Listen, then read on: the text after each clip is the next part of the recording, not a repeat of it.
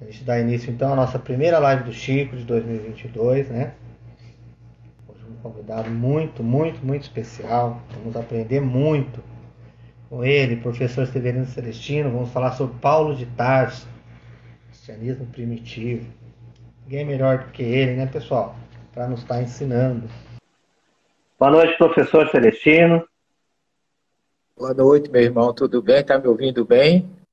Vendo bem, graças a Deus. O senhor está me ouvindo bem?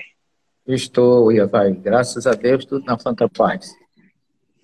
Então vamos lá, professor. A gente vai dar início à nossa primeira live do Chico de 2022. Uma grande, né, uma grande honra estar recebendo o senhor aqui para estar né, falando sobre Paulo de Tarso. Eu primeiro vou apresentar né, o senhor para o pessoal que está aí nos assistindo, para a gente dar início então. Tá bom? Ok. Ok, meu filho. Pessoal, então, Hoje a nossa live é com o professor Severino Celestino da Silva, natural de Alagoa Grande. Professor, se eu me enganar em alguma coisa, senhor, por favor, me corrige, tá?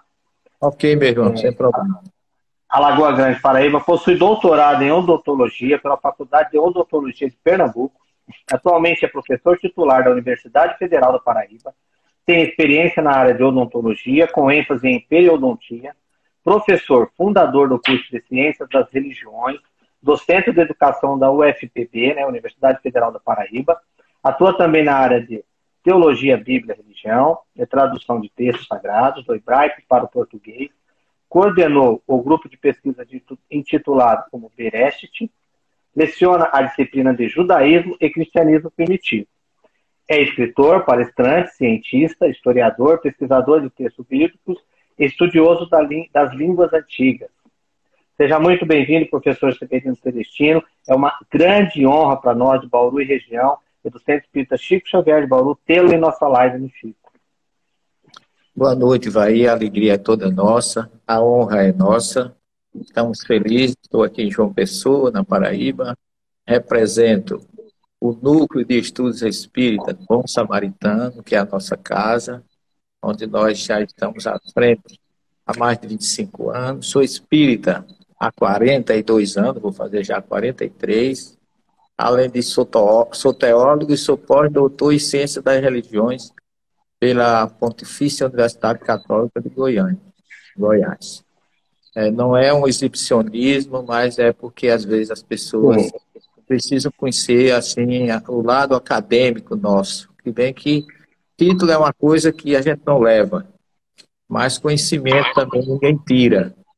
Então é só um suporte com muita, é, sem nenhum exibicionismo, sem nem uma, uma, uma questão de falsa humildade, mas a, a minha, o nosso objetivo é levar a verdade até onde vai o nosso limite, porque a verdade ninguém a conhece, você sabe disso, mas a ideia é que a gente possa, eu e você, na medida que você desejar, trocar ideias em torno deste inigualável homem chamado Saul, em hebraico, e que todos conhecem como Saulo, e o seu nome romano é Paulo, e como ele nasceu na cidade de Tarso, na Cilícia, é conhecido como Paulo de Tarso. Muito bem, professor, muito obrigado. Eu queria dar só então uma introdução para a gente poder então poder estar entrando no nosso tema. Pessoal, nosso tema hoje é Paulo de Tarso, né? Na verdade, Saulo, né, de Tarso, judeu ortodoxo da tribo de Benjamim, fariseu de família rica, tinha cidadania romana. Na adolescência foi mandado para Jerusalém sob os cuidados do rabino Gamaliel, onde anos depois se tornou um doutor da lei. E após condenar Estevão ao apedrejamento, por ele colocar Jesus acima de Moisés, se tornou um perseguidor implacável dos adeptos do caminho, os judeus seguidores de Jesus. Os egípcios, professor, é, educaram Moisés, né? O judaísmo educou Saulo de Tarso, se transformou no arquiteto da maior religião da atualidade. Essa transformação se deu, então, após o encontro dele a caminho de Damasco, do, do Saulo? Com certeza, meu irmão. A história de, de Paulo, de Saulo ou Paulo, poderemos chamar com qualquer um dos dois nomes, mesmo porque esse nome para ele para ele foi muito importante, inclusive, foi um dos pontos é, para que ele fosse escolhido por Jesus. Porque a história de Paulo não começa na estrada de Damasco. Ela é anterior. Jesus criou um projeto para deixar um legado para todos nós e utilizou pessoas de diversos é, lugares, de diversas ordens, espíritos, como Abraão, Isaac e Jacó, todos os médios, profetas da época. E depois que ele mesmo vem e envia o Consolador prometido por Jesus, ele, ele preparou na sua passagem em torno do ano é, 30 e, ano 33 em diante, quando ele é crucificado, o projeto dele não acabou, pelo contrário, nasceu ali. Porque a partir do Pentecostes, na, no cenáculo em Jerusalém, que tudo começa. Porque quando Jesus é crucificado, ocorreu assim para os seus discípulos uma tristeza, uma decepção muito grande. Eles perderam um líder, um líder que não era só líder, era pai, era protetor, era defensor. A perda de Jesus para aquele grupo foi assim uma tragédia. Todos entraram em depressão, todos entraram em desespero, debandaram, como diz o salmo, as ovelhas se desgarraram, né? E, mas Jesus foi reorganizando a casa agora a nível espiritual. Porque ele, ele preparou esse pessoal numa forma espiritual, porque ele conviveu com eles três anos, é, mostrando como se fazem as coisas. Mas quando ele foi embora, ele não veio mais mostrar como se fazem as coisas. Ele veio ratificar a imortalidade da alma, que esse é o grande, foi o grande objetivo da ressurreição do Cristo, foi é, nos legar a imortalidade da alma. A volta de Jesus do meio daqueles que se diziam que, era, que, eram, que eram mortos foi exatamente para dizer a morte existe, mas os mortos não, eu estou aqui. E foi aparecendo a todos os seus discípulos de formas específicas, cada uma muito peculiar, e aquele foi levantando o ânimo. Mas agora eles estavam vendo Jesus, relembrando Jesus, de uma forma espiritual e não mais material. A, a, volta dele, a partir daquele momento, foi, foi assim uma senha maravilhosa, porque todas as, as 14 15, ou 15 reaparições do Cristo, de Jesus agora ressurrecto, ou em perispírito, como diz Kardec na Gênesis, aquele foi mostrando para eles a imortalidade da alma e, ao mesmo tempo, preparando-os para a nova missão. É tanto que, quando ele é visto a última vez, no Monte das Oliveiras, lá no alto, da, da conhecida monte, o pico da ascensão, ele disse: voltem ao lugar de sempre, porque o lugar de sempre iria se comemorar na semana seguinte, é, que ele, ele foi, apareceu outra vez, 40 dias. Mas aos 49, os judeus comemoravam o recebimento da Torá, do Sinai, e por isso eles estavam reunidos ali na, na no Senado para comemorar o recebimento da Torá. Eles não sabiam porque Jesus o mandou para lá. Eles achavam que Jesus tinha, ia se cumprir mais uma vez uma festa judaica que acontecia todos os anos, que fazia parte das três grandes festas: a Páscoa, o recebimento da Torá, que chama Shavuot, e para nós transformou-se em Pentecostes, e a festa dos tabernáculos, ou das barracas. São as três grandes festas que Jesus participou de todas as três. Então eles achavam que Jesus os tinha enviado para o, para o Senado da Monte Sião para mais uma comemoração do recebimento da Torá. Mas Jesus os surpreende de uma forma diferente. Porque ali tinha gente do mundo todo. Tinha só os discípulos. Tinha pessoas do mundo todo, do Egito, da Fenícia, de Sidon, de Tiro, da Turquia, da, da Samaria, cada, todas aquelas regiões, do planeta inteiro, até do Egito, segundo o livro de Atos, tinha pessoas. E Jesus chega agora já de uma forma não mais visível, mas de uma forma de efeito físico, e realiza o conhecido fenômeno de Pentecostes, com xenografia, com vento, com luz, com uma, uma série de, de coisas, só que ele, sobre os doze, vem as chamadas conhecidas línguas de fogo, que os identificou, os identificou todos os seus discípulos como realmente agora, não mais discípulos, mas apóstolos, porque o discípulo é aquele que estuda, conversa, apóstolo é aquele que é enviado em missão. Então, a partir dali, eles passaram a ser apóstolos, estavam prontos para a missão.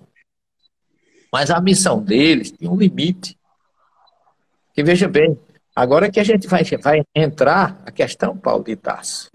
Porque a missão deles era testificar tudo que eles viram e ouviram de Jesus na sua convivência. Todos os atos. E aquele, aquele grupo que se formou em Jerusalém depois do, do Pentecostes, foi um grupo é, religioso, vamos dizer assim, ou seguidores do Cristo, que chamava Casa do Caminho, mas eles não, curiosamente, eles não tinham evangelho. Eles não, não existia evangelho ainda. O que é que eles tinham? Levi, Levi não tinha escrito nada, professor, ainda? Nada. É. O livro de Atos diz que eles viviam a reunião, a oração, a divisão do pão em comum e atendendo os doentes, os necessitados, mas a única coisa que eles tinham, segundo o livro de Atos, era o que eles chamavam de Catecismo dos Apóstolos. Uma obra que eu traduzi junto com o professor bom aqui da universidade, a Didaquê, que é didática ou Didaquê é ensinamento. Então, o ensinamento dos apóstolos, eles prepararam uma cartilha com 16 capítulos para que eles seguissem. Não tinha evangelho. Eles tinham, segundo o livro de Paulo e Estevão, documentos ou anotações de Mateus. Mas não era é, de Mateus. É. Mas era no caso que o senhor está falando, não era nada aí. Não era um evangelho constituído. É tanto que Paulo teve acesso a ele lá na, na quando ele vai para o Dileto, e Gamaliel teve, outros tiveram, Estevão teve, na condição de Gesiel, quando chega no grupo, teve acesso, porque Mateus, como era cobrador de impostos, e era judeu, ele era, tinha costume de anotar tudo. E naquela época existiam os reis e os seus chamados amanuenses, que eram amanuenses. Era um escrivão que acompanhava o rei para anotar as coisas que eram importantes. E Mateus, quando Jesus dizia uma coisa que chamava atenção, ele anotava. Então ele foi anotando em hebraico, que esse evangelho ninguém nunca encontrou e que eu tenho o maior desejo, eu tenho um sonho imenso que um dia ele se encontre numa caverna daquela lá para Jerusalém, essa obra mais lá, bonita, né? do Mar Morto lá para aquele lado. Exato, porque Eusébio de Cesareia fala, ele fala, ele, é, é, o, o de, Herá, de Herápolis, lá perto de, de, onde eu já estive várias vezes, também fala disso, onde morreu Filipe, morreu não, foi martirizado. Ele fala desse, desse evangelho que Mateus escreveu desse, em, no seu idioma pátrio, que foi o hebraico, e não o aramaico, como muita gente quer falar. Então, esse livro não existia. Os discípulos se reuniam, oravam, meditavam e atendiam as pessoas, relembrando tudo que Jesus fez e que ele, que ele falou para. Não tinha um evangelho. Isso tem que ficar bem claro porque o projeto de Jesus era que esse grupo começasse ali em Jerusalém, atendendo gregos e troianos. Então, eles atendiam necessitados, até leprosos, que eram é, seres. Na casa do caminho ali, né? É, anatematizados, porque eles eram discriminados, podiam viver em sociedade. Eles atendiam, tinham leprosos na comunidade do caminho. Eles atendiam todos indistintamente.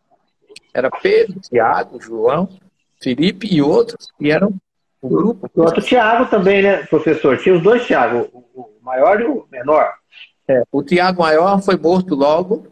Foi morto logo, o Tiago é. menor e tinha o Tiago, irmão do Senhor, que é outro. três? Tinha três Tiagos. É, eu, eu, eu, sei de dois, o, menor e o maior. É, mas o Tiago, irmão de Jesus, que é chamado Tiago o Justo, foi esse que sucedeu Jesus em Jerusalém, e não Pedro, como muita gente fala. Então, a, ah. gente, tem, a, gente, é, a gente tem muitas coisas e nós recebemos da Igreja Católica, assimilamos e não levantamos, nem questionamos, porque fomos criados sob o jugo do dogma, que ninguém pode discutir. Mas, cientificamente, se você entrar em estudos teológicos, todos os teólogos falam do Tiago Justo, inclusive no Evangelho de, Tomé, no, no versículo 12 a 14, Os discípulos perguntam a Jesus: Senhor, quando não estiveres mais entre nós, a quem seguiremos? E Jesus diz: Quando eu não estiver mais aqui, ide a Tiago, o justo, para quem os céus e a terra foram, foram criados.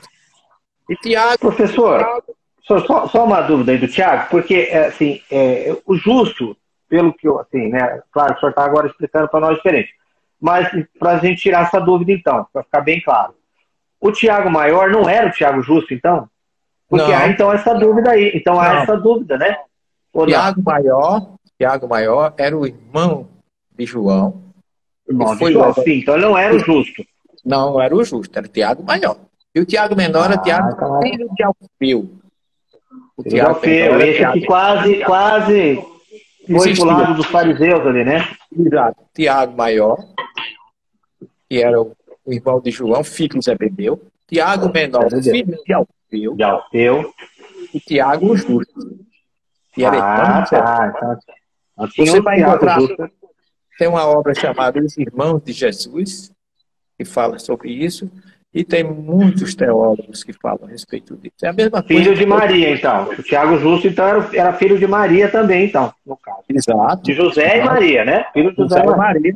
José e Maria, todos eram filhos de José e Maria. Desde Jesus, era, era Jesus, mas ainda tinha quatro irmãos. Simão, José, Tiago, tá certo? Justo, agora. Entendeu?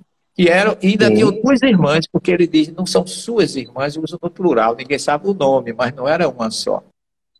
O Evangelho usa no, no, no plural. Plural, né? Suas irmãs. Tiago, Judas, Simão e José. Esses quatro, está em, em Marcos capítulo 6, e Mateus também os cita. E duas irmãs, porque ele diz assim, não são esses os filhos de José, o carpinteiro, Tiago, Simão Judas e José, e não são suas irmãs, quer dizer, não era uma irmã só, no mínimo duas. É, no mínimo duas. No mínimo duas. Então, é, depois desse grupo constituído para a semente e a selva em Jerusalém, aí Jesus convoca, através de Estevão, Paulo de Tarso. É curioso isso, porque a gente, a gente sempre vê Paulo como um elemento é, muito rude, mas Paulo sempre foi um homem muito correto, muito ortodoxo. Você pode dizer o que você quiser dizer de Paulo, mas que ele era corrupto, mulherengo, farrão, é, é, uma pessoa sem caráter, nunca foi. Professor. É, Estevão fala por si, né, para Abigail, que Paulo era uma boa pessoa. Se ele defendeu Moisés como ele defendeu, Imagina quando ele conhecesse então Jesus, né? O próprio Estevão, antes de morrer, ele reconhecia, eh, Paulo, esse lado que o senhor está falando, né? Exatamente. Ele, ele, quando conheceu Jesus, ele não abandonou o judaísmo, ao contrário do que muita gente fala. É curioso isso, porque Paulo nunca negou que era judeu. Você pode ver que até que depois da terceira viagem, quando ele é preso em Jerusalém, que ele é levado à presença dos saduceus para ser julgado, ele diz assim: Eu sou judeu, nascido em Tarso, da tribo de Benjamim e acredito na ressurreição. Ele se identificou como um judeu. Então, muitas pessoas jogam, não sei se a própria igreja joga Paulo contra o judaísmo, Paulo nunca foi contra o judaísmo, nem mesmo contra a lei, porque ele considera a lei divina. Está lá em Atos. Ele defendia a lei, então criou-se uma, um, um antagonismo aí gratuito, de, fruto de desinformação, e joga é, Paulo contra os judeus e contra o próprio Jesus, porque Jesus jurou fidelidade à Torá. Jesus não era contrário à primeira revelação, que foi ele mesmo quem enviou, segundo Emmanuel, claramente. Moisés. Emmanuel diz em A Caminho da Luz que é, Moisés recebeu das mãos dos emissários do Cristo no Sinai os dez mandamentos. Então foi Jesus. No Consolador também ele fala isso, né? Pois é, exato, Consolador, Consolador e a caminho da luz. Então ele, ah. ele, Jesus não declara abertamente, quando ele começa a ensinar, ele não veio destruir a Torá nem os profetas. Eu vim aperfeiçoar. Eu vim mostrar como se vive. Eu vim mostrar que o olho por olho, dente por dente, é vingativo, mas o amor é, está acima de tudo. Por isso que ele deixou como mandamento novo, amar uns aos outros, como eu vos amei, eu vim e mostrei. Então, nesse contexto, é que Jesus convoca Paulo de Tarso. Por quê? Por dois motivos. Era um homem letrado. Ninguém melhor do que ele para levar um, um judaísmo cristão, e realmente o que Paulo levou não foi mais, mais do que isso, um judaísmo cristão para o mundo todo. Por quê? Porque ele, além de ser qualificado, ele, Jesus não tinha nenhum discípulo com evolução e conhecimento. Além disso, ele ainda era cidadão humano.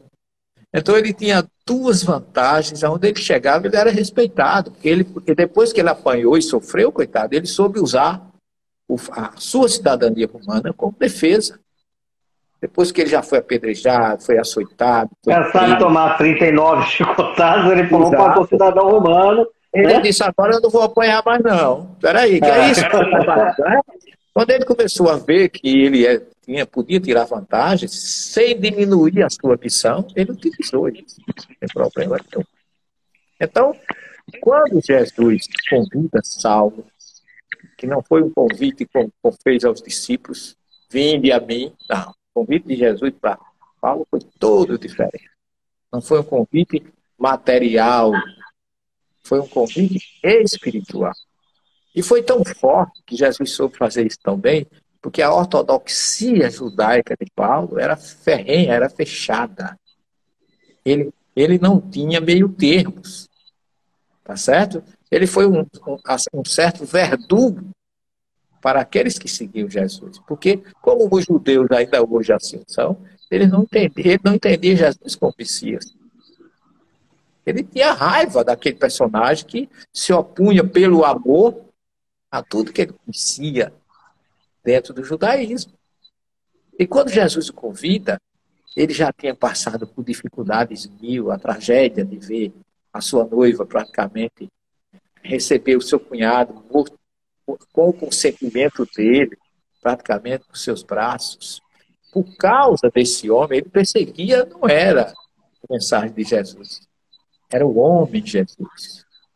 Na visão dele, que não, não se enquadrava com o judaísmo ortodoxo que ele conhecia.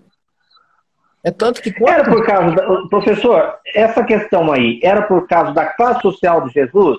Influenciou essa opinião do, do Saulo aí? Porque eles, eles achavam que que o Messias viria assim, de alguém do Sinédrio, de alguém lá da, sei lá, do, né, da, da, alta cúpula dos judeus, ali, dos, dos fariseus. E, e, é, isso aí interferiu a questão de Jesus ser, sim, ser um filho de carpinteiro? Essa não aceitação ou não?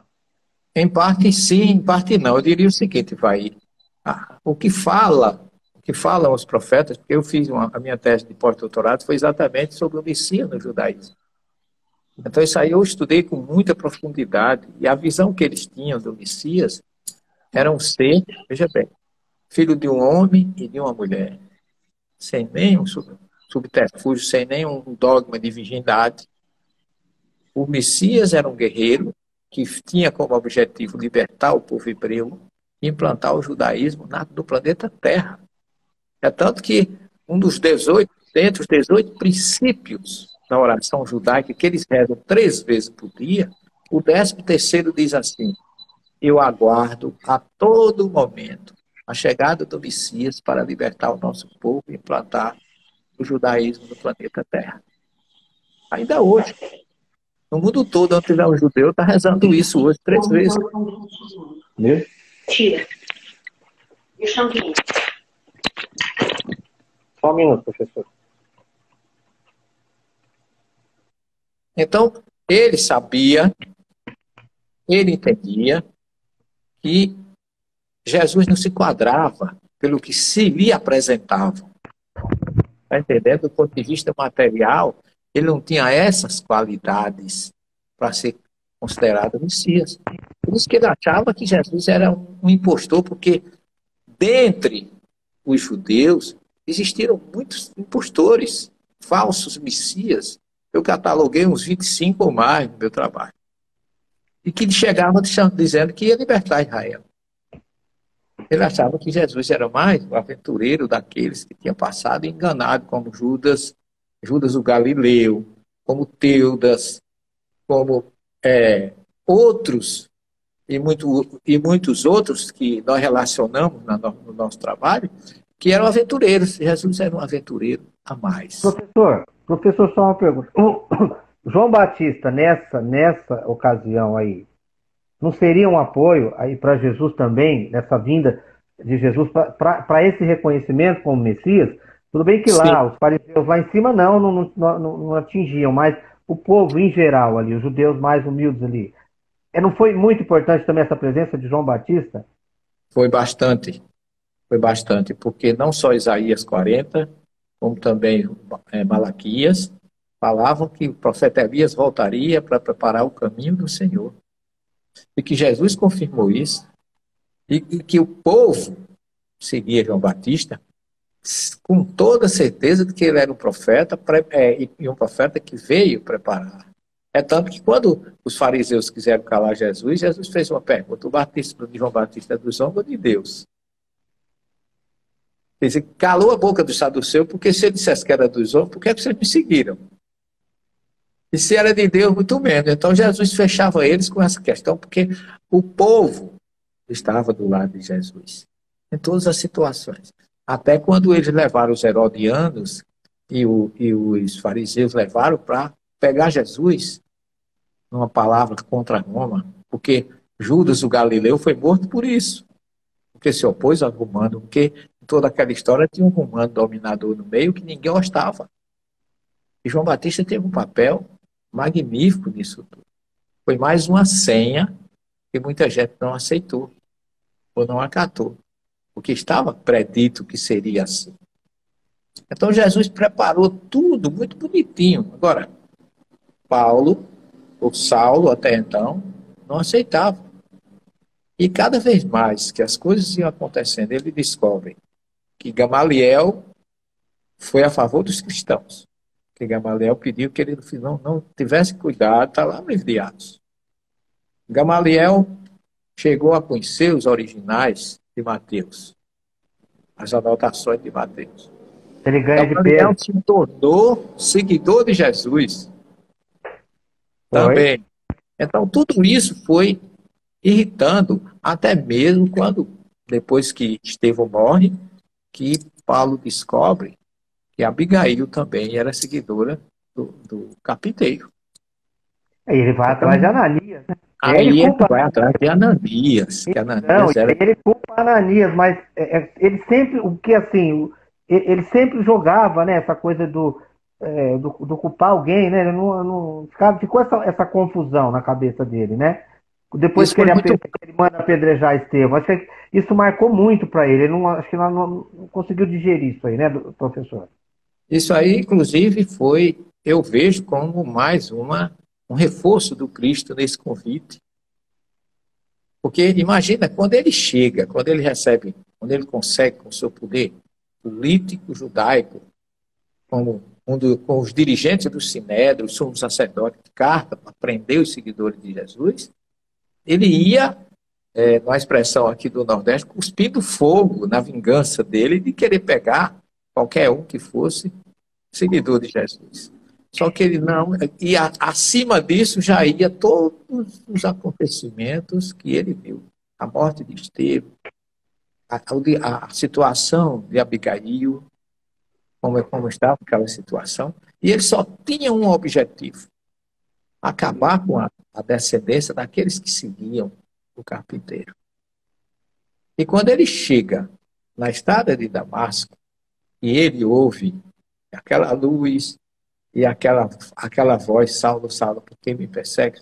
A, imagina a cabeça dele como ele estava.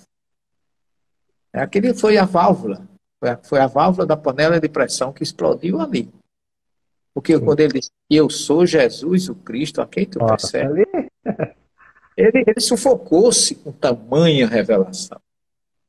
E, a, e, a, e, a, e o, Jesus preparou a situação tão, de uma forma tão forte que ele não mais discutiu ele só fez uma pergunta: Senhor, o que queres que eu faça? É. Ele entregou-se totalmente àquela nova figura e não abominou com isso o judaísmo. Tem que ficar bem claro. Professor, Quando, quando Jesus diz a ele assim, Saulo, não recalcitre contra os aguilhões, ele não está se remetendo ali ao plano espiritual. Saulo, meu, meu irmão, o que, que você está fazendo? Você veio aqui, a gente conversou antes, como o senhor falou, né? Jesus preparou antes que ele veio os profetas, depois vieram os espíritos que conviveram com ele e os espíritos que teriam que completar a missão, levar à frente a missão. E Paulo, talvez, Estevão cumpriu essa, esse combinado, Estevão estava ali, né? E Saulo meio que é, entrou, o véu do esquecimento e tal. E Jesus ali não chama a atenção dele, aí ele, ele tem esse baque, esse impacto todo dessa. Aí ele fala, gente, é verdade, eu vim aqui para uma coisa, eu estou fazendo outra. Exatamente. Você sabe que Estevão foi assim, o famoso Gesiel de Corinto, né, da, da família de, de, de Abigail, do irmão de Abigail, que ele aceitou a missão dele com toda a dedicação, toda denodo, com toda, é, eu diria assim, toda entrega possível. Porque quando ele, quando ele é apedrejado, que aquilo ali é uma coisa frente ao judaísmo, aquilo ali foi algo terribilíssimo. O que Saulo fez ali foi algo imperdoável. Nenhum judeu era capaz de fazer o que ele fez. Ele se deixou levar pelo impulso interior. E, e esse impulso só fez aumentar o seu compromisso ao reencontrar Jesus. Porque quando, quando ele encontra Jesus, que fica é, cego, né, com a deficiência visual dele, e Jesus diz assim: vai à rua direita, que era exatamente onde estava Ananias, que era o representante dos seguidores de Jesus, que ainda não tinha cristianismo aí, aí era só seguidores do caminho. Quando ele, né? é, quando ele chega ali, Jesus não só diz a ele, vai à rua direita, como ele também vai, Jesus vai preparar Ananias para receber. E aí que eu acho que tem uma revelação do Cristo fantástica, que fecha qualquer dúvida que alguém tenha nesse sentido. Porque quando Ananias diz, Senhor, tu bem sabes o que esse homem tem feito com os teus seguidores. Né? Como ele é? veio fazer Damasco, né? É, ele, veio ele veio aqui para ele veio aqui para me pegar, ele veio aqui para é, é acabar conosco. A resposta de Jesus é fantástica. Ele diz assim: ele é um cli, cli, em hebraico, é instrumento. Ele ah. é um ah. instrumento do alto, escolhido, e pela forma como Jesus diz, é. Há muita gente diz assim, escolhido por Deus, não, ele foi escolhido. Ele assumiu essa responsabilidade comigo no mundo espiritual, antes de eu descer e antes dele vir para cá. Olha aí. Porque olha como ele diz, ele é um instrumento escolhido do alto. Então, Ananias não mais contra-argumentou. E você vê que as coisas se encaixam até o final da vida de Paulo, porque a partir dali Estevão passou a ser um defensor, um companheiro dele. Abigail também, que não suportou, né, passou também a fazer parte desse grupo no mundo espiritual. E você não passa a ser o mentor dele, professor? Passa a ser o mentor ali. Sim, eu creio que sim. Um guia sim. espiritual, né? Ambos foram é. guias espirituais, tanto que Paulo começa a vê-los depois, né? Porque quando Ananias chega. É tarde, né? Ele vê né? Quando é. ele procura o pai e tal, ele acaba vendo Estevão e, e Abigail, né? Ou não? Exato. E ele, e ele, a partir dali, ele ele começa a entender que as coisas não eram como ele pensava. Tá certo? E aí, como todo todo bom missionário, ele vai se refugiar em Palmira, no deserto da Síria. Né? Isso que eu queria perguntar para o senhor, uma dúvida que eu tenho, assim, enorme.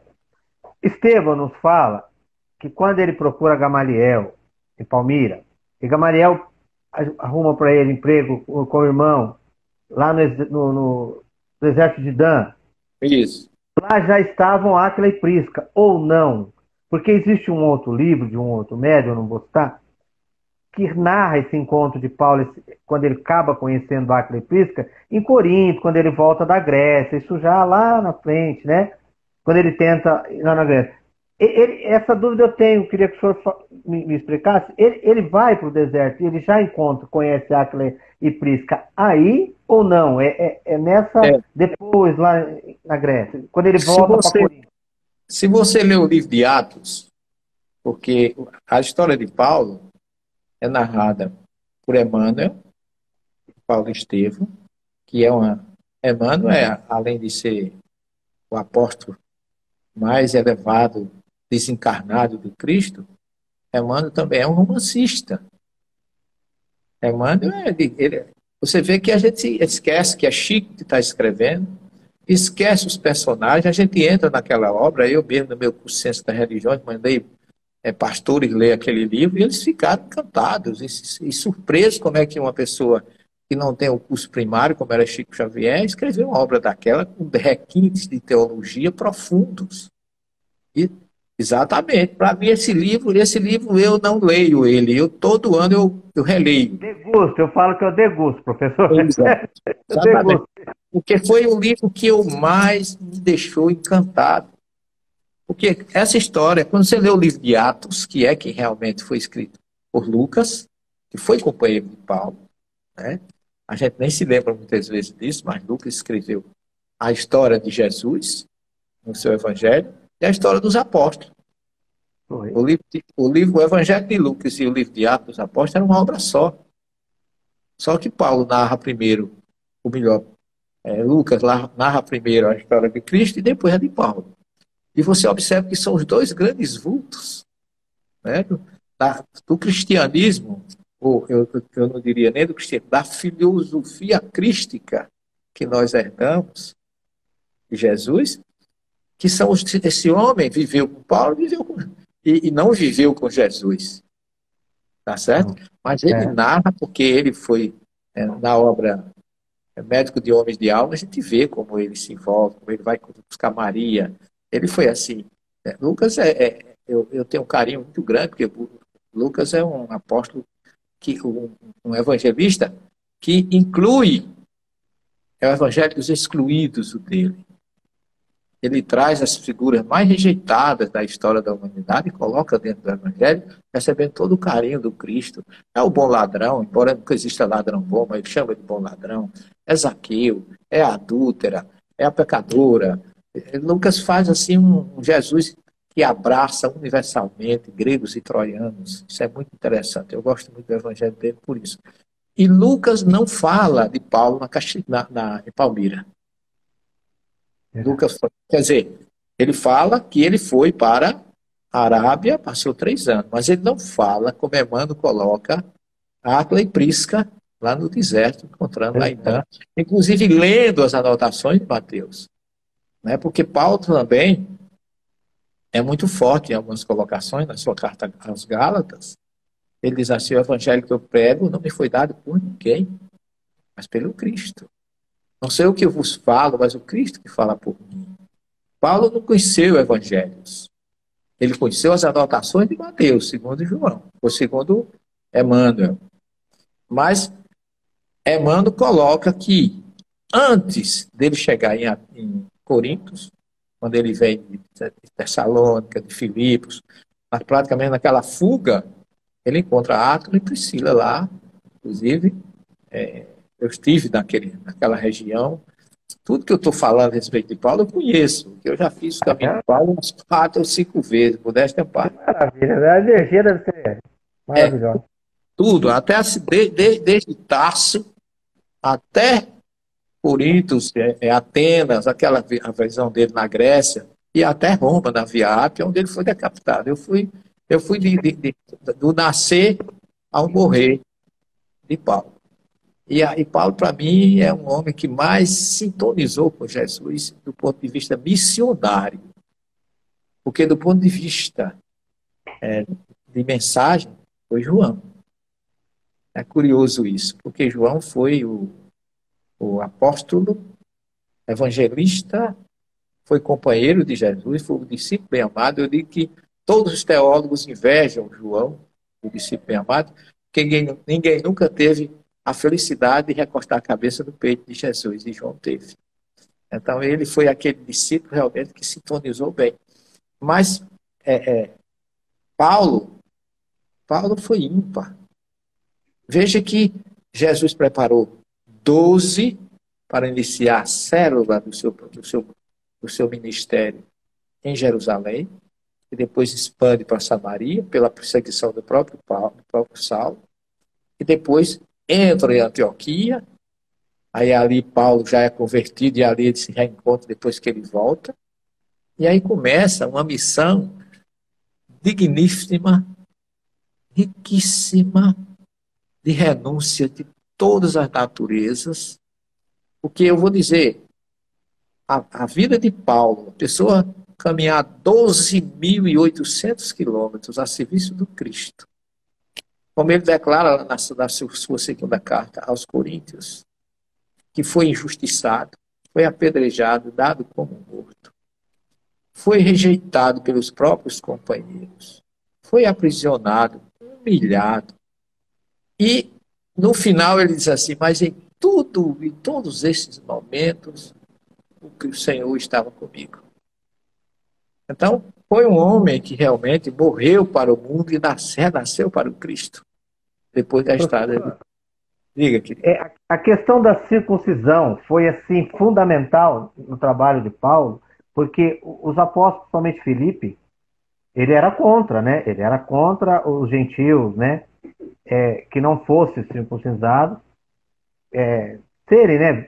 Do caminho e tal. E Paulo não. Paulo, Paulo queria essa, essa, essa circuncisão, mas de uma maneira espiritual. Isso que os apóstolos não entendiam, era mais ou menos assim que Paulo pensava? Na verdade, veja bem, Paulo foi muito coerente. Ele dizia assim: Eu sou judeu entre os judeus, cristão entre os cristãos, gentil entre os gentios. Ele era um homem de uma perspicácia, de, de uma condição universal e, e, de tolerância e também de seriedade incomparável. Né? Porque, acima de tudo, ele tinha uma mediunidade muito grande. Você vê o livro de Atos, quando ele, lá, depois de um ano em Antioquia, eles, quando Lucas estava com ele, já ali, com Pedro, todos, sugere o nome de cristãos pela primeira vez, um ano depois, lá em Antioquia. Então tem uma gruta maravilhosa, que nós já estivemos lá também, uma opção de vezes. Ele, ele aceitou todo aquele processo e foi, e foi um homem é, sintonizado com todas as situações. Mas com relação à circuncisão, e aí que entra a história de Tiago, que eu já te falei. Tiago, irmão de Jesus, dizia o seguinte: seguir Jesus, porém sem esquecer Moisés. Essa era a filosofia dele. Vamos seguir Jesus, porque nenhum dos discípulos achavam que Jesus era Deus. Essa história de Jesus Deus veio depois com o concílio da igreja, com a santificação, que é uma coisa que dificulta muito o entendimento entre judaísmo e cristianismo. Muito grande. Então, Paulo, o que é que Paulo, que é que Paulo descobre? Paulo era como eu e você, porque se a gente sai daqui e vai para São Paulo, eu quero entrar numa sintonia espiritual, eu procuro uma casa espírita. Porque todas as casas espíritas que eu entro, por onde eu já passei no Brasil, no exterior, são todas iguais. A gente chega lá dentro e encontra Kardec, encontra Emmanuel, encontra Chico Xavier, onde a gente chega. Então é um lugar familiar, espiritualmente falando, para nós. O que é que Paulo fez? Quando ele conheceu Jesus, ele precisava dizer para as pessoas que Jesus era o Messias. Mas ele procurou primeiro os seus conterrâneos. Onde ele chegava, ele ia para a sinagoga. Visitou todas as sinagogas da Ásia Menor. Quando ele chega em Corintos, quando ele chega em em Atenas, primeiro, depois é que ele vai a Corinto, ele ficou horrorizado com o materialismo, com o politeísmo, com a, a idolatria, a promiscuidade. Corinto era uma cidade tão promíscua que existia um verbo em, em grego chamado corintianizar, que era promiscuir. Aí a pessoa diz, Paulo, muita gente diz que Paulo era contra a promiscuidade. Ele não era contra, ele defendia a liberdade que você não deveria ser promíscuo. Por que é que ele ficou um ano e meio em Corinto? Porque é uma cidade portuária, altamente promíscua. Tinha as, as, chamadas deusas da promiscuidade lá, né? Lá tinha um templo de Afrodite, lá em cima, na, na, na Acrópole, ficava lá em cima um templo, e eram os, as pessoas daquela cidade achavam que promiscuir era uma coisa divina. Então, Paulo ficou um ano e meio em Coríntios com, pela compaixão que ele teve da desinformação daquele povo. Por isso que ele disse: Eu preguei para bandidos, para politeístas, idólatras, promíscuos. Ele não foi atrás de gente letrada nem evoluída, não. Ele foi procurar libertar aquele povo da dependência, da carne, da promiscuidade, da sexolatria que reinava e imperava em Corinto. Então, a partir dali, como ele não foi bem aceito, ali ele teve decepções, como teve também é, em Atenas, você vê que ele tinha que ter escrito uma carta aos atenienses, ele não escreveu uma linha. É verdade. Ah, ele não conseguiu nada em Atenas. Apenas Dionísio e Damaris, que foram foi um casal. Armando disse que é marido e mulher já. O livro de Atos diz que não. Viram ele. É. Porque as duas letras estão no, da, no delta grego maiúscula. Então, no, Damaris pode ser esposa em grego, mas Damaris pode ser nome próprio. Então, Dionísio está com D maiúsculo e Damaris não está com D. Está também com D maiúsculo. Então significa duas pessoas diferentes.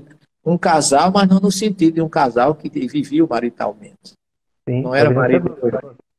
Mas foi os únicos que ele escolheu, que ele escondeu, que ele conseguiu como seguidor em Atenas. Ele vai para Corintos, aí encontra também uma, é, uma rejeição na sinagoga, e aí ele, num gesto judaico, rasgou suas vestes e disse: agora, a partir de hoje, eu não prego mais para judeus, eu vou pegar para os gentios. E a partir daí, ele, ele, ele quando ele termina a primeira viagem, ele chega em. em... Antioquia? Não, ele, ele sempre voltava a Jerusalém.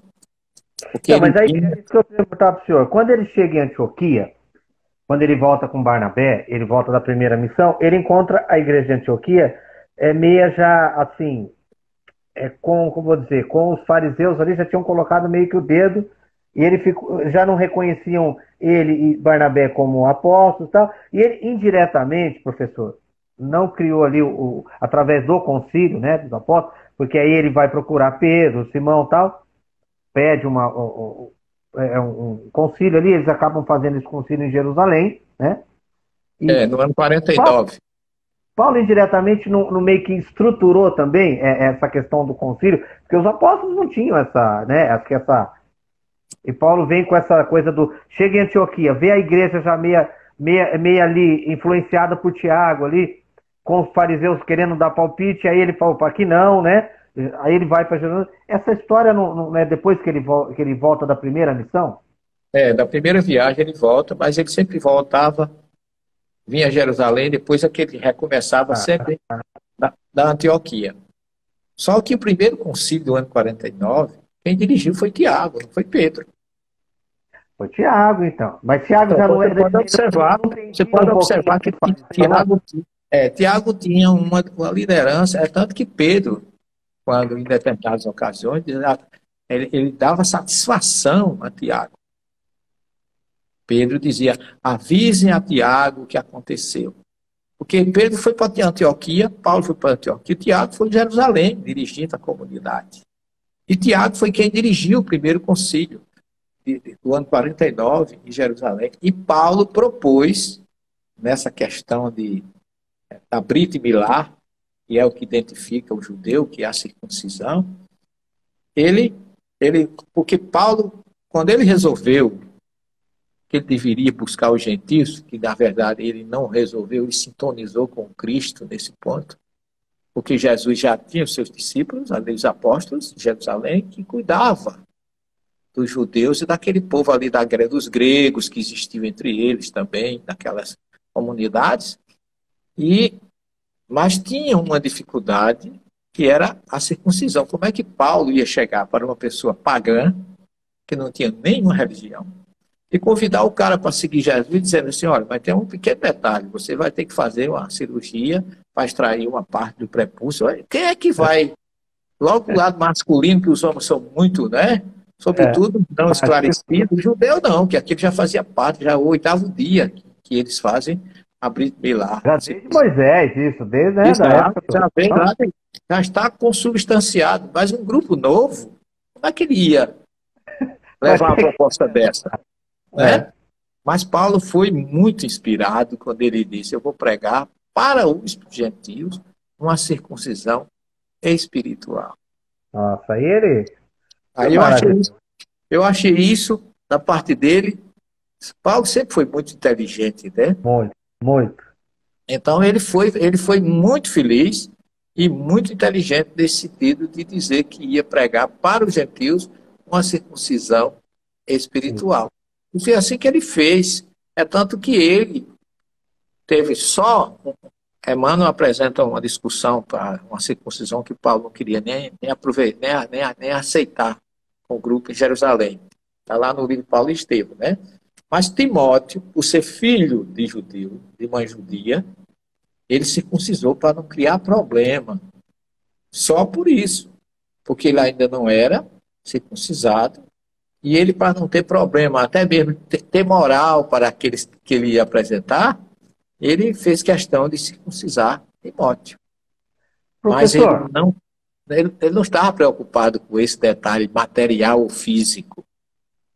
É nesse, é nesse concílio, nesse, nessa mesma concílio, que um discípulo do Tiago, então, sugere, né, hum. que o livro de Jesus seja colocado, então, junto com os profetas, abaixo do de Moisés, Aí que o negócio meio que. Como é? Que, que livro não ouvi tua pergunta direito? É, que, o, que o, o livro de Jesus fosse colocado junto do, dos livros dos profetas. Ah, sim, os evangelhos. No livro de Moisés, é. é. aí, aí que Pedro, então, toma a rédea da, do, do, da, da, coisa e, e bate o martelo, ou, porque até então Tiago que estava dando, né? É, essa, era, essa era uma ideia, porque Tiago era irmão do Cristo, conhecia todo o judaísmo, a importância de Moisés, e você veja que ele deu uma sugestão racional. E tem uma sugestão racional. Agora, os próprios membros da igreja, a partir dali, que isso não influenciou muito na teologia cristã, que o problema dessa essa problemática surgiu com muita ênfase depois do século IV que é uma coisa que eu sempre me bato, e nós espíritas temos que trabalhar para ressuscitar o Evangelho de Jesus, que foi totalmente desvirtuado a partir de Constantino no século IV. Porque aquele cristianismo puro, cristalino, verdadeiro, desinteressado, dai de graça que de graça recebeste, acabou com a política romana. E quando entra outras correntes religiosas, estou falando aqui historicamente, eu não estou à altura de condenar ninguém, meu caro Ivaí, mas eu estou dizendo que a, a, a política interferiu de tal forma que hoje Jesus está muito distante daquele Jesus apresentado pelo, no primeiro, segundo, terceiro século. E olhem que no primeiro século não tinha evangelho, como eu já frisei. Mas Sim. era um cristianismo vivo, puro. Ninguém tinha nada a não ser a alegria de servir. E é o verdadeiro verbo do cristão. Eu acho que a doutrina espírita tem esse papel. E Paulo fez isso com muita propriedade. Porque ele dizia que o evangelho que eu prego não me foi dado por ninguém. Ele deixou isso bem claro na sua carta aos Gálatas. Tá certo? Ele chamava Tiago uma das colunas da igreja, quando ele declara na sua carta aos Gálatas, depois de 14 anos, fui a Jerusalém, não encontrei nenhum dos discípulos, a não ser Tiago, irmão do Senhor. Está na carta dele aos Gálatas. Isso nos conduz perfeitamente para Tiago justo, irmão de Jesus. Porque há muita confusão, como a gente já falou no início, nesse sentido. E Tiago foi muito primoroso, porque ele tinha uma visão judaica, de que ele era judeu, e tinha uma visão também da filosofia do seu irmão Jesus. E a sua carta, inclusive, criou polêmica, porque a, a, o cânon do Novo Testamento só foi concluído já depois do, do Concílio de Nicéia, no ano 325, já no século IV. Porque a primeira, a, os primeiros é, o primeiro cano do Novo Testamento começou com 22 livros no tempo de Irineu. Depois chegou a ter 29, porque ele tinha a epístola de Pastor Hermas, que é uma, é uma, é uma carta é, puramente é, mediúnica. O pastor de Hermas é uma carta que fala de mediunidade, que tem no, no livro Patrística, e também uma carta de Paulo Barnabé, que fazia parte do cano, e foi tirada. E a carta de Tiago, houve, houve grande dificuldade, porque achavam que Tiago era contra Paulo e vice-versa. Porque ninguém entendeu a ideia de quando Paulo fala da salvação, que o justo viverá pela fé. E as pessoas acham que isso ele está dizendo que não precisa de trabalho. Essa é a questão forte de, de, de, toda a história que tem criado tanta dificuldade, a ponto de, de um monge agustiniano, Martinho Lutero, fundador do protestantismo, chamar a carta de Tiago de carta de palha, que não tinha valor nenhum. E houve muita confusão até formar esse cano que tem 27 livros hoje no Novo Testamento. E que muitas, muitos livros apócrifos, como o, o livro de, de, Tomé, esse que fala que Jesus manda, que fala do, do Tiago Justo, que era que eles deviam seguir, e que a, a igreja colocou Pedro como sucessor direto e ainda chamou ele de primeiro papa, embora o primeiro papa só chegou no século IV. Pedro nunca podia ter sido papa, porque ele morreu antes do final do primeiro é. século. É. é? Mas são coisas que a gente, para desmanchar, ou para mudar a cabeça das pessoas, é difícil. Eu fiz uma conferência em Fortaleza, no congresso, e eu falei exatamente que o sucessor de Jesus não foi Pedro, foi Tiago. E teve gente que não gostou, e teve gente que até na hora dos autógrafos ainda veio questionar. E eu disse, eu não estou falando nada de mim. Ah, você for estudar a teologia aí, a história do cristianismo nascente, e leia os patrísticos, são 32 volumes, onde, está, onde se encontra toda a história dos pais da igreja, e leia cristianismo primitivo. Né? Eu tenho uma obra chamada Jesus e o cristianismo primitivo e Comunidade do Caminho, é, trajetória de Paulo de Tarso. Ali eu coloco realmente é, em ordem muita coisa que eu acho achei por bem trazer à tona para que as pessoas conheçam a verdade e vejam a verdade com racionalidade, porque nem, nem o cristão pode aceitar a trindade, a virgindade de Maria, como dogma, porque como a igreja não soube explicar, os pais não souberam explicar, impuseram. Uma coisa é, é. Totalmente atípica. Se você pega o Deuteronômio 6.4, está escrito lá, Yahvé Loed, Yahvé Hat, o Senhor nosso Deus, o Senhor é único. E João diz que Deus é espírito. Se Deus é espírito e é único, como é que ele pode ser três pessoas? A gente está falando de ser espiritual. Como é que alguém pode colocar esse ser como três pessoas? O Pai, o Filho e o Espírito Santo como três pessoas. Já é uma gnonímia ou algo atípico.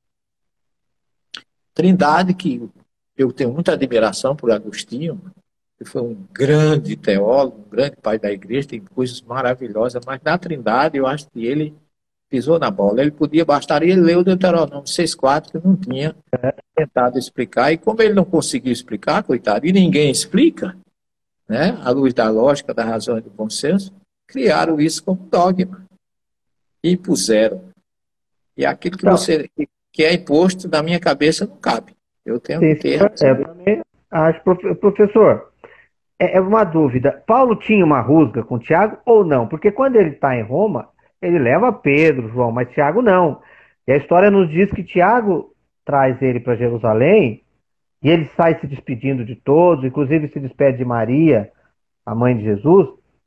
Talvez pela mediunidade dele, já sabia que ali já, né?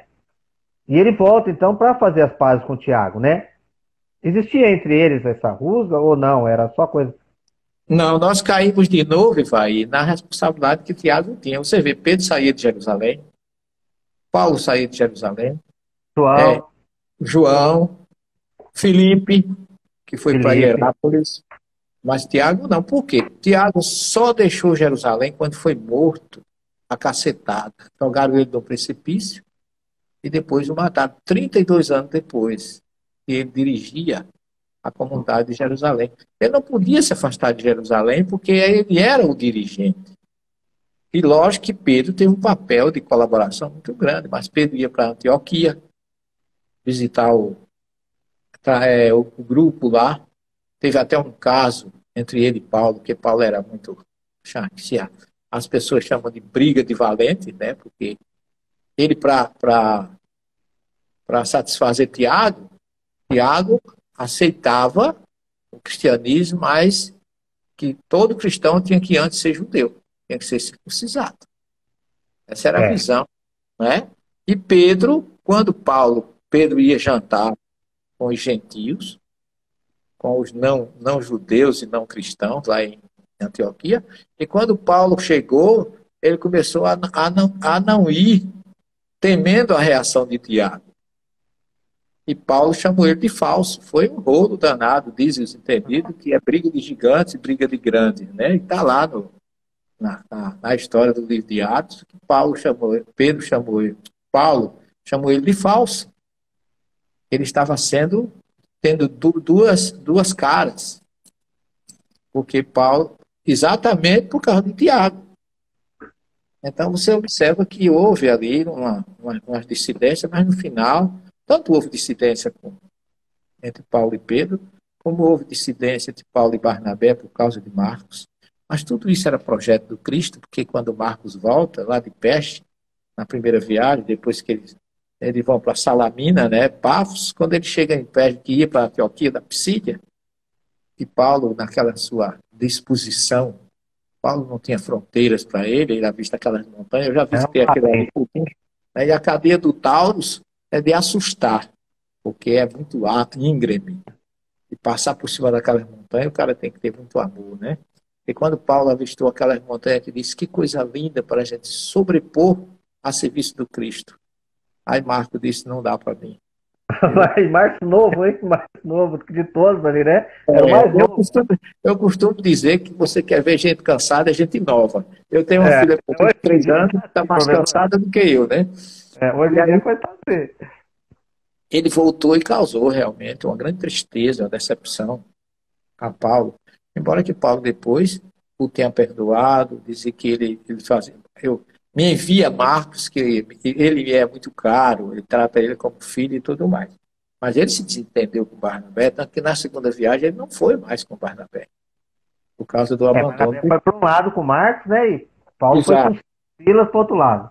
Exatamente. Ele não, não fez mais a, a viagem com Barnabé, que eles eram realmente muito amigos. Barnabé foi era da ilha de Chipre, era bem pertinho ali, ao sul de Tarso, nasceu Paulo, e eles eram quase que conterrâneos.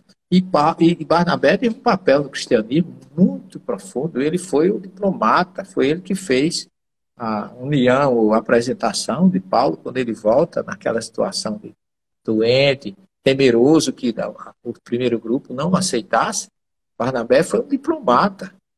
Foi ele quem fez a união, a apresentação de Paulo com os, os discípulos. Apóstolos, os apóstolos não aceitaram de imediato, não. né, professor? Porque... Da mesma forma que a Anania, eles temiam. Sim, né? como que vai aceitar? Ele chegando, tá aqui batendo aqui, querendo entrar, mas, né? Isso ele pega todos nós, hein? E João veio com medo, porque tá aí é Paulo, ficou todo mundo assustado, né? E Pedro, foi receber, Pedro que foi receber, a resposta de Pedro é maravilhosa, porque Pedro diz assim, Paulo, Jesus o Cristo quer que você seja bem-vindo a esta casa. Não era eu nem os outros, né? é Jesus. Eu estou recebendo por causa dele. Né? É. Ele estava temeroso. Mas é, é, são, são situações que mostram é, a coerência de tudo isso. Uma história belíssima. Eu tenho, assim, por Paulo de Tasso, uma admiração fantástica. Quando eu cheguei em Tasso a primeira vez, eu nunca me esqueço disso. É, eu, eu tinha me preparado para uma viagem, nós temos uma guia na Turquia, chama Shefka. Ela foi uma criatura maravilhosa, ficou viúva durante as nossas viagens, nós, através da doutrina, eu, a Márcia e a Wanda, que são as dirigentes do nosso grupo de viagem aos caminhos de Paulo e Maria, é, é elas é, sempre nos dão muito apoio e quando eu cheguei em Tarso, ela disse assim, professor, o senhor vai falar que em Tarso só tem uma igreja, que é a igreja de Paulo, né? Onde ele é uma representação hoje, porque lá o que, o que comanda é, é o islamismo. Porque não tem nem padre lá. É uma carência muito grande. Eu tinha tido umas dificuldades antes da viagem. Eu achei até que nem ia viajar. Aconteceram uns acidentes domésticos. E eu, nas minhas orações, eu é, pedi ajuda a um irmão espiritual. Ele disse assim: Não, meu filho, você vai o Chico vai conosco. Eu achei aquilo até meio, meio estranho. Eu, eu às vezes, sou muito racional. Eu sou, sou espírita há 42 anos, mas uma coisa que eu não gosto é de fanatismo. Eu sou muito pé no chão, né? eu sou muito erasto. Melhor negar a verdade porque aceitar. Ah, é. Gosto das coisas muito sérias. Espiritismo, para mim, é uma coisa muito alta e muito séria para você não respeitá-la à altura que ele merece. Eu fiz um comentário íntimo, né? Eu digo, mas Chico tem muito o que fazer para estar tá perdendo tempo de me acompanhar numa viagem dessa, né? Se bem que eu sempre peço ajuda aos bons espíritos, e Chico, para mim, é... eu nunca considerei um ídolo, mas um homem exemplo de amor e de fraternidade e dedicação à doutrina e a Jesus. E quando eu fui chegando na igreja, eu ia falar sobre taço, que é, taço é o nome de um osso que a gente tem no pé. É metatarso e dedo. Quem faz biologia ou anatomia sabe disso. Calcânio, cubóide, esses ossos do, do pé. E o taço é o osso que dá estrutura e suporte. Então eu estava pensando em fazer um relacionamento entre o taço e o suporte que Paulo foi para o cristianismo. Essa era a minha ideia no momento. Mas quando eu entrei na igreja, eu comecei a sentir algo estranho, diferente. E eu comecei a me emocionar. E quando eu começo a me emocionar, sem eu saber o que é, eu já sei que tem alguma coisa espiritual forte por ali. Aí eu ouvi uma voz dizer assim: não, você vai falar sobre é, Paulo de Tarso. É, Paulo e Jesus. Aí eu olhei assim, ao lado do altar da igreja de Paulo tem uma foto, simbolizando e aquela foto seja de Paulo. Aí eu pensei assim, será que é Paulo? Não é possível. Paulo não sou eu que estou falando. Aquela, essa ideia eu tenho que tirar da minha cabeça. Aí a avó é. repetiu assim, olha, tudo que Paulo fez foi pela saudade que ele sentia de Jesus. Então você vai falar da saudade de Jesus. E depois eu conversando com a doutora Marlene Nobre, não sei se você chegou a conhecer, que eu tinha muito carinho por ela, era muito amiga do Chico. Eu tive um, um, congresso com ela em Belém do Pará, e ela disse que um repórter perguntou a Chico por que é que ainda existia tanta violência no mundo. Ela não sabia de nada do que tinha acontecido comigo lá. Na Antártida. Aí o repórter respondeu, perguntou a Chico, Chico, por que, é que ainda tem tanta violência no, no mundo, apesar de tanta, de tantas, tanto, tantos caminhos espirituais que as pessoas podem escolher? E Chico disse assim, minha filha, o que está faltando nas pessoas é saudade de Jesus. Aí eu me lembrei, meu Deus do céu, me emocionei. O Chico foi mesmo, se eu acreditar, mas ele foi. Ele estava com o senhor lá. Ele estava lá, e foi ele quem me disse isso. Eu até pedi à doutora Marlene permissão para narrar isso no meu livro é, Comunidade do Caminho. Tem essa passagem que eu falei com ela, confirmei tudo, porque eu não sabia desse detalhe. E Chico tinha dito isso, e, e a voz que chegou, que era ele, porque ele disse: Você vai falar da saudade que Paulo sentia de Jesus, porque tudo que ele fez foi pela saudade que ele sentia de Jesus. Então, realmente, realmente Paulo era, era ímpar. Paulo tinha, assim, uma, uma frustração interior de não ter sido discípulo de Jesus. Isso eu sinto. Eu sinto na história dele, sinto na vida dele. E tem um escritor judeu, que eu gosto muito de escritor judeu, e fala de, de numa obra chamada O Nazareno, é Scholem Art, o nome dele. Ele fala que quando Paulo e Pedro estavam em Roma, já iam até nós colocamos isso no nosso filme, Paulo de Tasso. A é, origem do... é a coisa mais linda. É. Aí ele, ele, ele, ele, ali na via Ostiense, que é uma via que tem em Roma, toda vez que nós vamos lá, eu levo o povo para ver uma, uma placa que tem na parede, Paulo abraçando Pedro. Quando eles se abraçaram, um foi para ser crucificado e o outro para ser guilhotinado, decapitado. E aí, Paulo diz assim: Pedro, eu gostaria que você me fizesse um favor. Aí Pedro disse assim: O que é, Paulo? Eu gostaria que você permitisse que eu beijasse seus pés. Aí Pedro achou aquilo tão estranho. Mas como é que você tem A propósito de que você está fazendo esse pedido? Porque eu gostaria de beijar os pés de alguém que caminhou com meu mestre.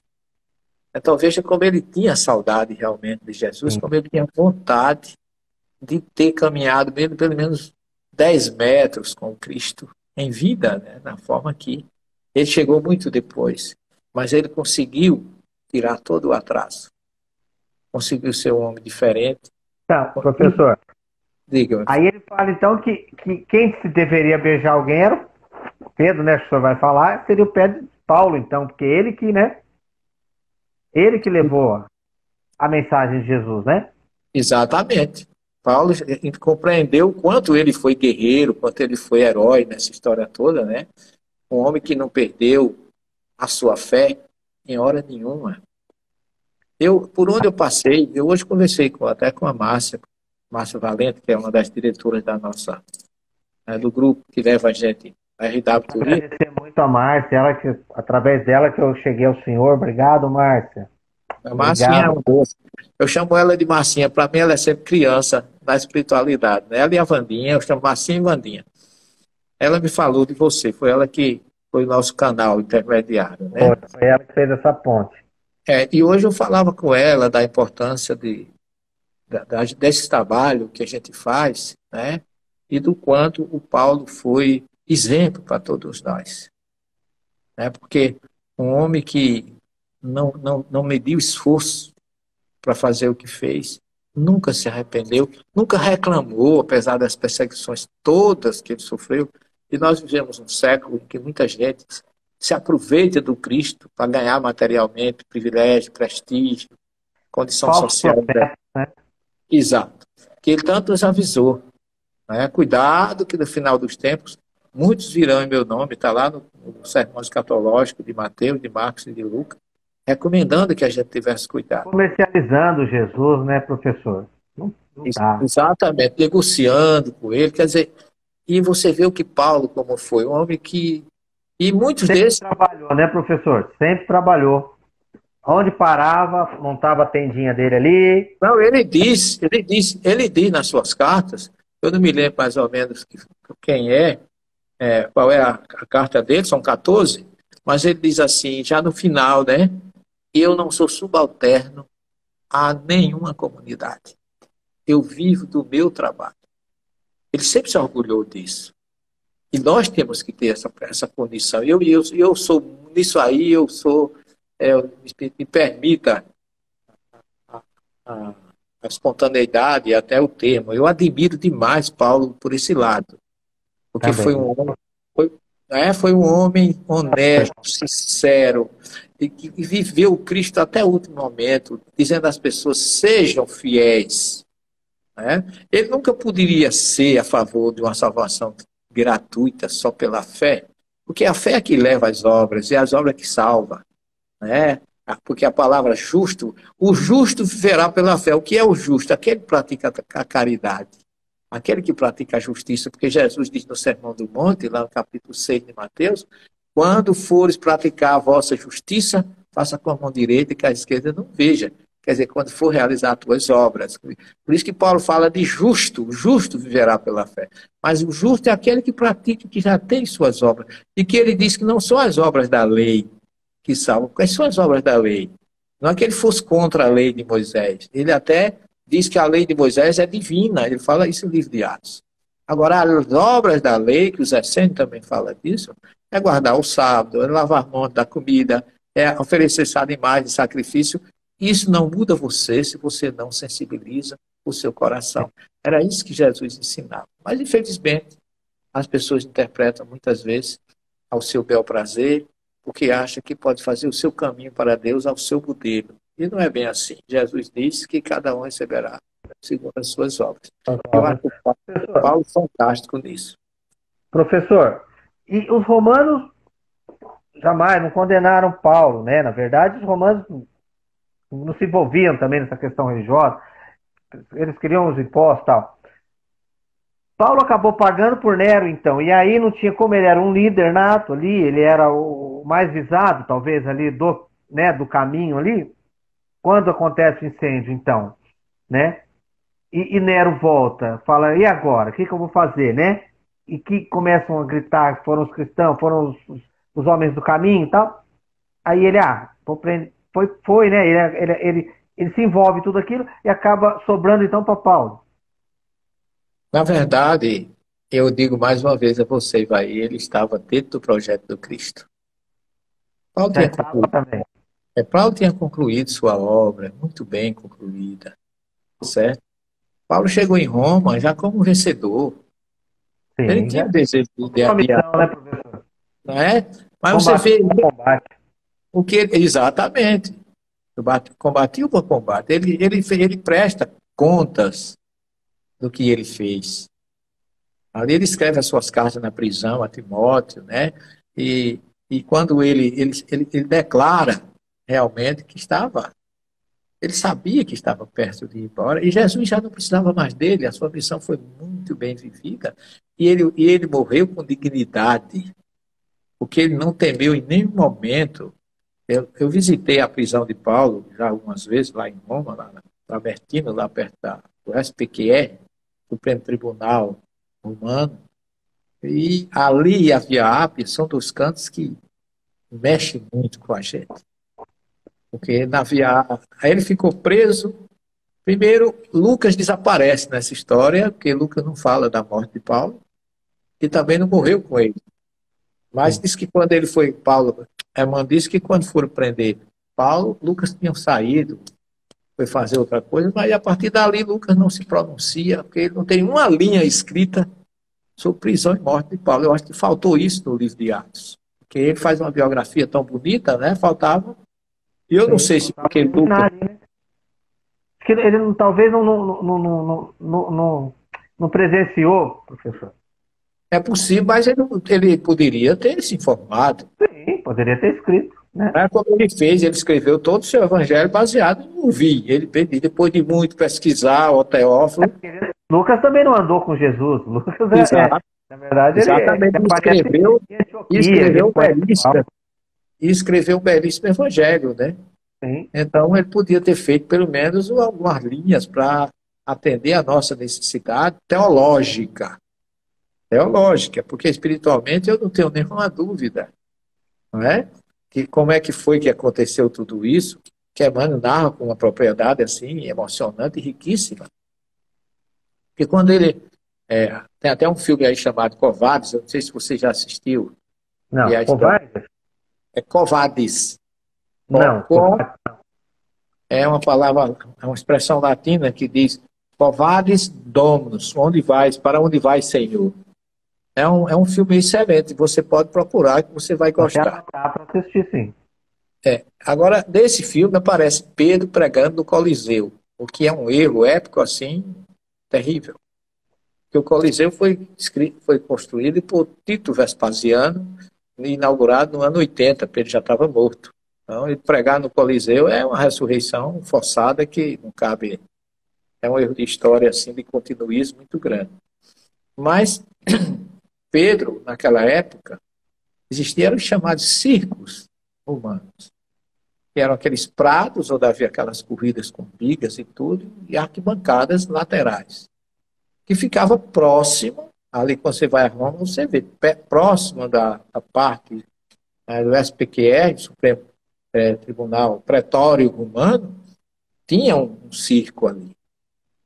E você podia ouvir, eu acho interessante isso, você poderia ouvir de dentro da prisão, que era uma prisão muito escura, muito úmida, diz Emmanuel que muitos morriam, porque como Roma tem, tem muita, muito terremoto e aquelas coisas, as piscinas que se faziam, as cisternas, rachavam. E deixavam de servir para juntar água e passavam a ser prisões. E, mas aquilo era muito úmido, dava muito, muito fungo. Muitos morriam de problema respiratório, pela Não, é insalubre, né, professor? Exato. E, e, horrível. E Paulo mostra isso muito bem, que ele era um judeu, todo judeu tinha sua capa. É tanto que ele pede a Timóteo na sua carta, quando vieres a Roma, traz a minha capa que eu esqueci na tua casa, na tua casa entrou. Isso é um pedido judaico. Há um, há um, o Talmud diz assim, se você é, tomar a capa de alguém emprestado, devolva antes do pôr do sol.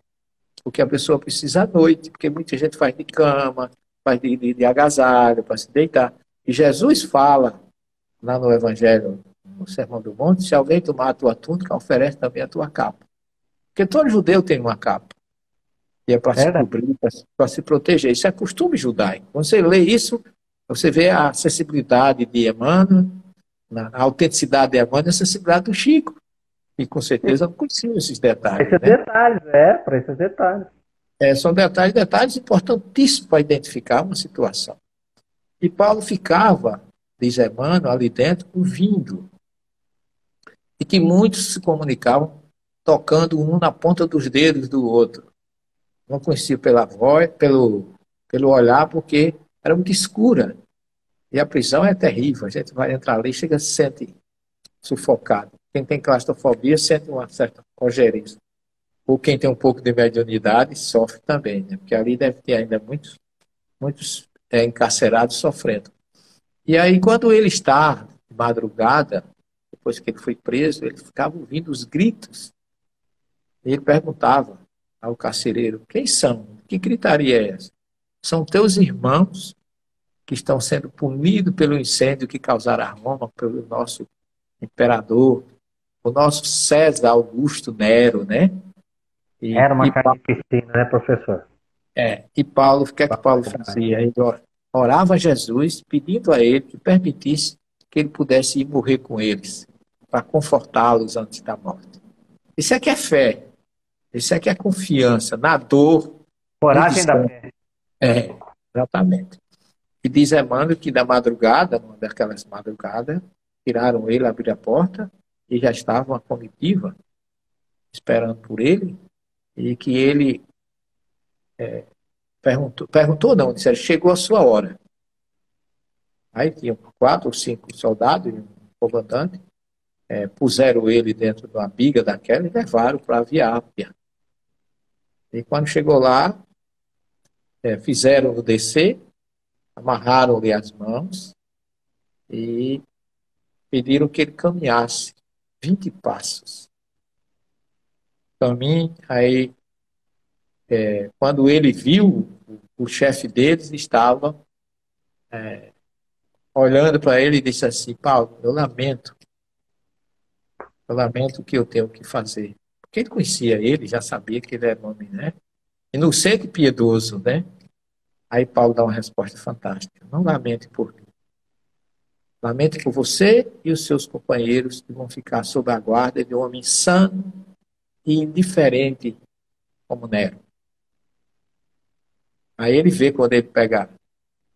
Tem uma coluna lá na Viápia, ainda está lá, né? Onde ele ficou, amarraram ele naquela coluna. Quando ele puxa a espada, ele vê o comandante tremendo. Aí ele disse: Não trema, cumpra a sua obrigação.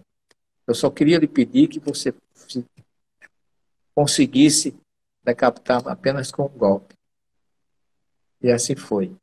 Quando você visita a, a igreja de, de Paulo, extramuro em Roma, porque Roma tem uma superstição muito grande, não deixava ninguém ser sepultado dentro das suas muralhas, era tudo fora, as catacumbas e tudo, né? E, e quando ele de, de, decapitou Paulo, a cabeça bateu três vezes no chão, rolou, e aonde bateu nasceu uma fonte. Então lá em Roma tem três altares com três cabeças e três fontes. E diz Emmanuel que é, Paulo entrou numa escuridão, mas não sentiu dor.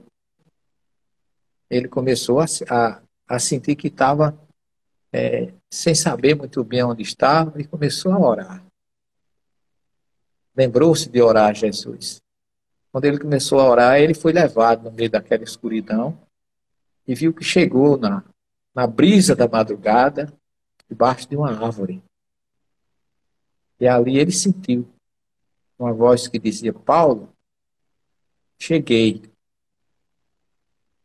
Vim mais uma vez devolver-lhe a visão.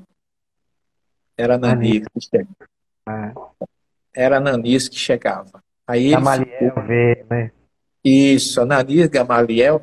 E quando ele devolve a visão, aí ele vê quem era, né? Que era Ananias Gamaliel, e ele faz uma pergunta: Qual é o seu desejo?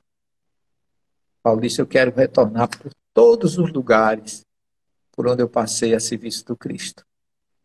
E eles fazem uma, uma turnê espiritual, né? Ele revê todos os lugares, como se fosse assim um balanço da sua produção a favor do Cristo. E terminado, ele pergunta: e agora? Qual o seu desejo? Quero voltar para Jerusalém. E ele volta para Jerusalém e param exatamente em cima de onde foi o Gólgota, onde Jesus foi crucificado. E desce, quando eles aterrizam, né? Aí ele olha e avista Abigail e Estevão. Ele se ajoelha e tem aquele ímpeto de abraçá-los. Mas ele se lembra do que ele fez com Estevão. E, e, e incontinente ele para. Naquele momento ele fica inseguro se deve ou não abraçá-lo. Mas uma luz muito forte surge à direita e aparece a figura do Cristo. Que lindo, né? É, e olha para Paulo e, e, e, com um olhar e com um gesto consente.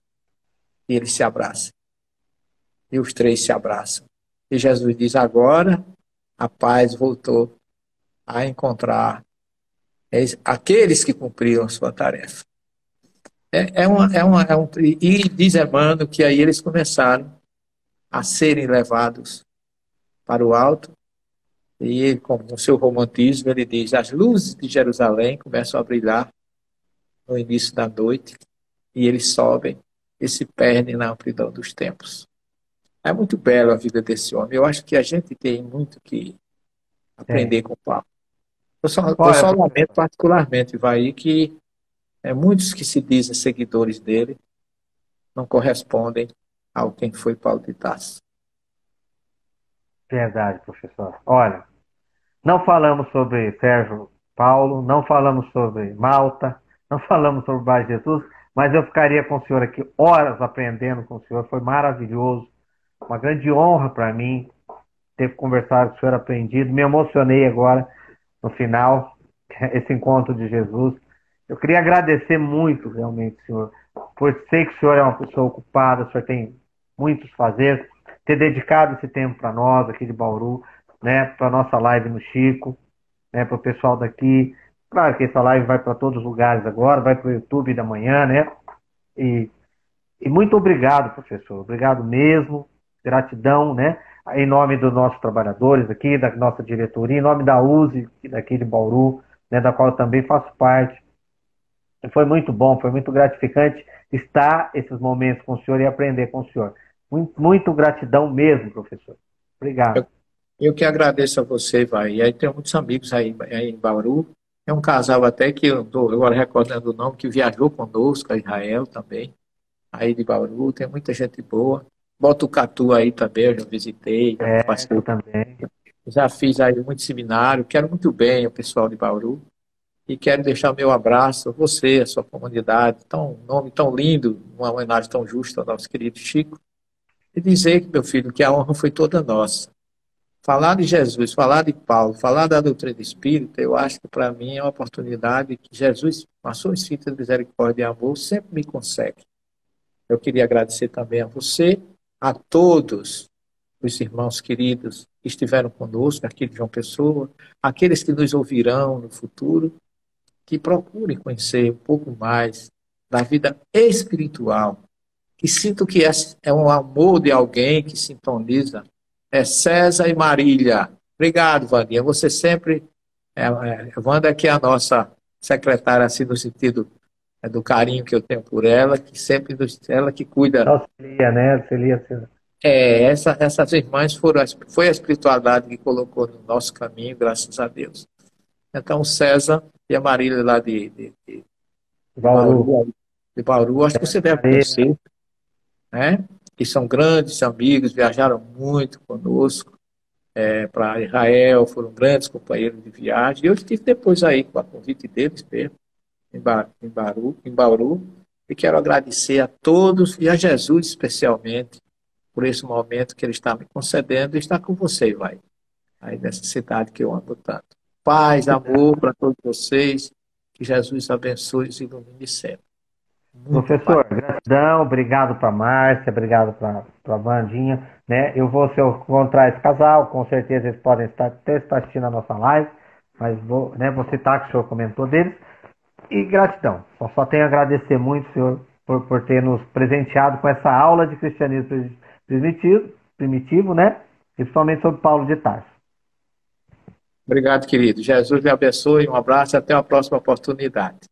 Amém, o senhor também. Assim seja.